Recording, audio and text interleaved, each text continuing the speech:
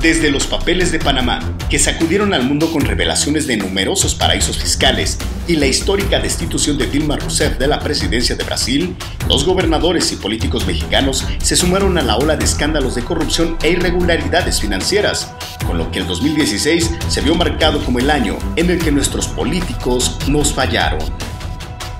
La lista fue inaugurada por el ex gobernador de Veracruz, Javier Duarte. Es señalado por su probable responsabilidad en la comisión de los delitos de delincuencia organizada, operaciones con recursos de procedencia ilícita y los que resulten. Luego de permanecer prófugo, el 10 de noviembre Guillermo Padres, ex gobernador de Sonora, reapareció en una entrevista radiofónica. Al salir fue detenido. El 16 de noviembre un juez determinó el auto de formal prisión luego de encontrar pruebas que lo involucran en delitos de delincuencia organizada y operaciones con recursos de procedencia ilícita. El exgobernador de Chihuahua, César Duarte, fue señalado de realizar 163 vuelos internacionales en aeronaves oficiales entre 2014 y 2016. En su administración se vendió más de la mitad de las reservas territoriales del Estado.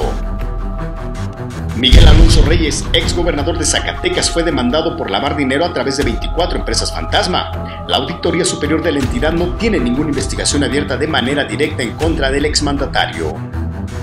Roberto Borja Angulo, ex gobernador de Quintana Roo, es señalado de haber vendido más de 9.500 hectáreas, casi el 50% de las reservas territoriales del Estado, a sus familiares y amigos.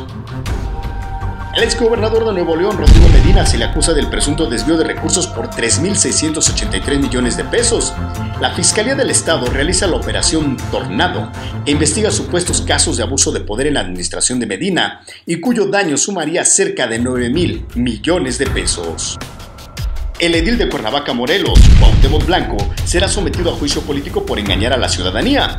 Así lo decidió el Congreso del Estado de Morelos con una aprobación de 27 votos a favor y una abstención. Ante esto, el edil comenzó una huelga de hambre, pero 36 horas después la levantó cuando la Suprema Corte de Justicia de la Nación le otorgó una suspensión provisional al proceso.